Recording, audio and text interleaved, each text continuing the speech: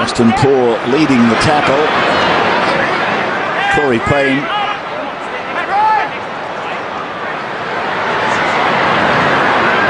This is what Gus and Peter are talking about. These forwards, they're, they're like first and second receivers. And here's Keating into the space again at the backfield. He kicks ahead. Morris is flying. Sandow's in front. Morris gets there first. Josh Morris, he gets another try. That's three tonight. We set a grounding, Molly, tackle three. And again, Sam Kasiano throwing the ball that starts it all. I'm, I think I'm right in saying that he's only been re-signed fairly recently. I think they were starting to circle around when they other clubs saw what he had available. Now Josh Morris calls for this kick.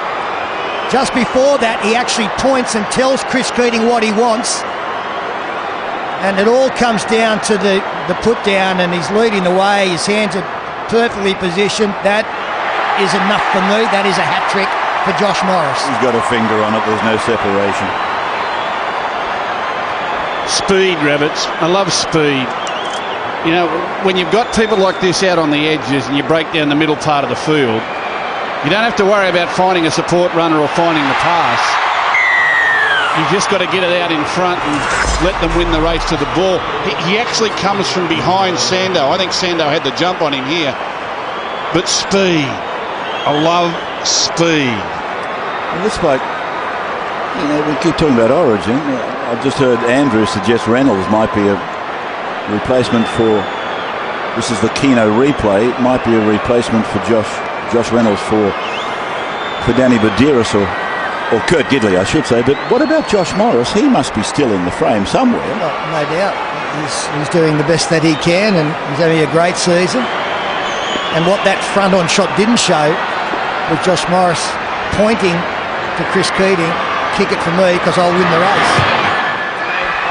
I think at last count, Rabbits, we've got about 40 in the frame. Everyone's having a pick. Everyone's having a pick. Andrew. This is how well drilled the dogs are. They go from unstructured play to structured play. You see Kasiano here with a short pass and getting one-on-one promotes offloads. Out the back to Ben Barba on the Keno replay. But off that unstructured play, they play structured play, a set move, a second man play to Keating. And then he's good enough and smart enough to put the ball in space.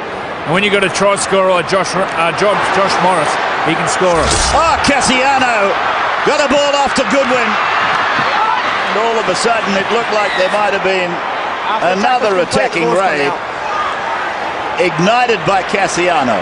Well, if he hasn't re-signed with the Bulldogs, he will have by midnight tonight.